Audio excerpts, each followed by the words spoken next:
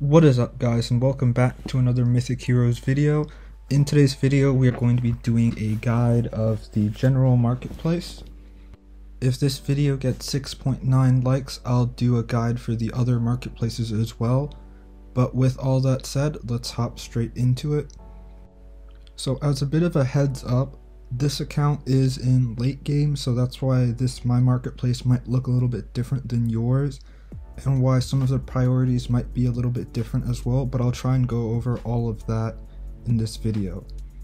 So for the very first thing is you obviously want to grab the free items and then moving on down, even though I have a lot of gold, I'll skip the um, faith and the divinity gems and the soul seals because I have enough of them already.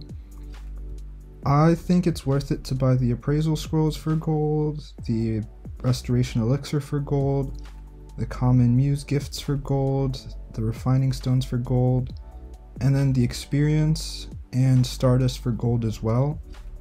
If you don't have as much gold, you can feel free to skip out on the refining stones and the um, muse gifts as well. And moving on, uh, for the diamond cost items, I will be avoiding the experience and the Stardust base amounts for diamond. I will buy this one since it, uh, the booster since it's discounted and my cube is built pretty well. I'm not that big a spender so I will be skipping out on the Fate Crystals and currently I'm in a bit of a diamond pinch so I will be skipping out on buying the tomb maps and the standard summon scrolls as well.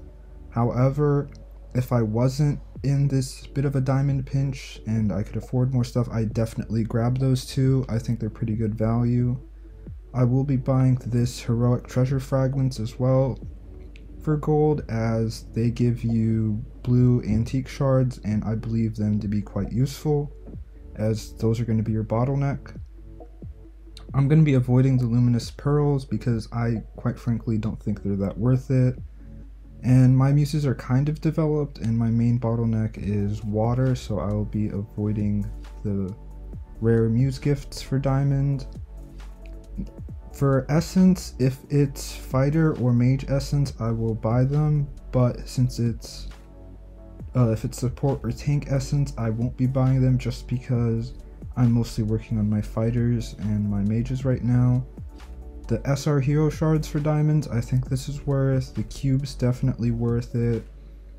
And if you like skin shards, I think that the skin shards and the privilege vouchers are worth them.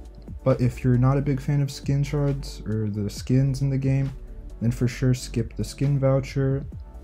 And if you have a little bit of excess diamonds, I think it's worth it to buy the privilege voucher, but if you're free to play, it might still be worth considering getting it, as there is like a 0.25% chance of using one of these to unlock the Heavenly Gift.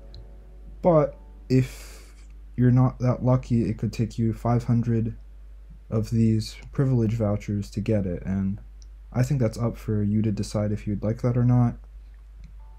The exploration coins and the antique development chests, I think, are both worth a skip because they're pretty expensive diamond cost wise and for that reason, I will be skipping out on them as you get a decent amount just by playing the game.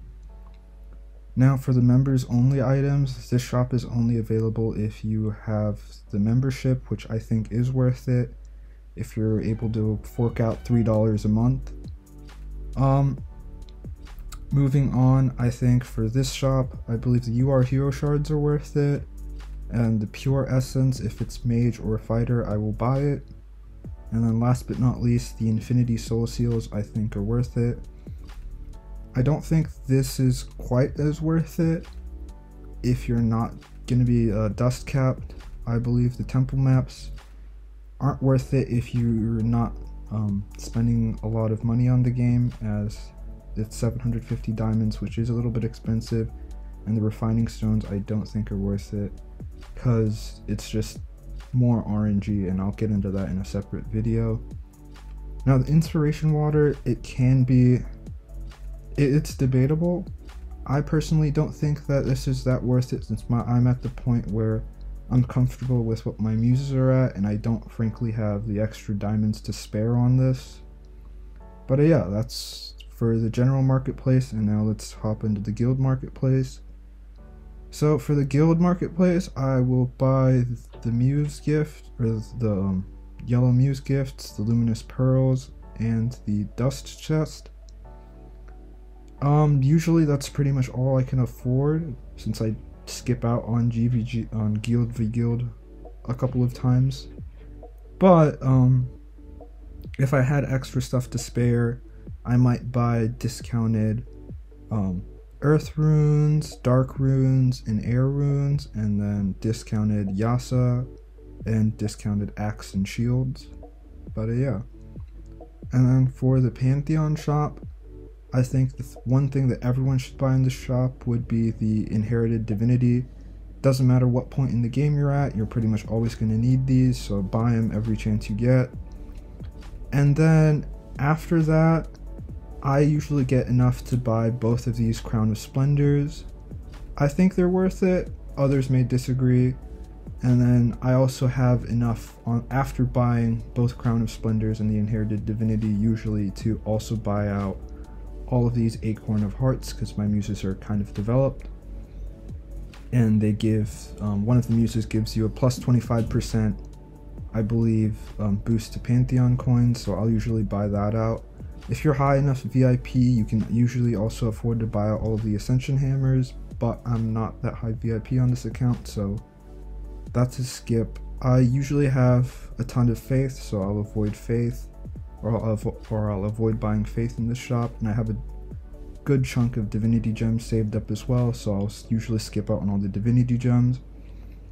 And then as for the heroes, I think you should avoid buying any of the heroes in this shop unless you really, really, really, really, really need one to, if you're um, level capped. But even in that case, I think unless it's like maybe Freya or Naga I'd, or Western Queen, just like some really meta heroes, I think I'd maybe consider buying those if you're if um they're the ones that are getting you level capped. But other than that, I think you should just for the most part avoid buying any of the heroes in this shop. Um, for the arena market, it's going to depend on what your um, income is for the um, mastermind arena ranking for what your um, arena coin income is going to look like. So I can usually afford to buy out the entire top row and then also save up for a UR and then an SSR. But it's mostly going to vary depending on what your um, income ranking is. So I think no matter who you are or what point of the game you're at, you should always buy these cube fragments because they're pretty beneficial. And then your inspiration water, if you're free to play, is going to be capped just from mostly this shop and the Void Portal shop. So I think it's worth it to grab these.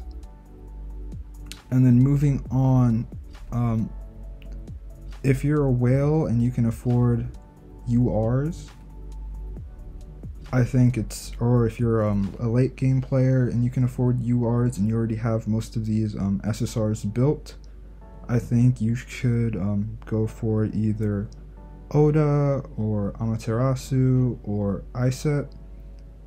But other than that, um, if you already have all of those built, then you might be able to consider going for another UR However, if you're early on or you don't have all of most of the key SSRs built, I think you should go for either Archimedes, Odin, Hela, um, Susanoo, Medusa, etc. I personally am not using Susanoo on this account, so that's why I don't um, have him maxed. And that's also why I don't plan on buying him once I get enough um, income or once I get enough arena coins, I will be buying an Oda Nobunaga from this shop, and I'll probably save up for. Um, then once I buy Oda, I'll probably save up enough so I can buy the um, standard summon scrolls and the tomb maps, and then wait for the shop to reset to buy Oda again. For the tribute shop, I think buying the two maps is pretty decent not that big a fan of buying the SR hero shards, and I think you could definitely skip out on buying the SSR hero shards or the UR hero shards because they're just pretty expensive. Um, for the prestige shop, it's going to depend on what you um, mostly need.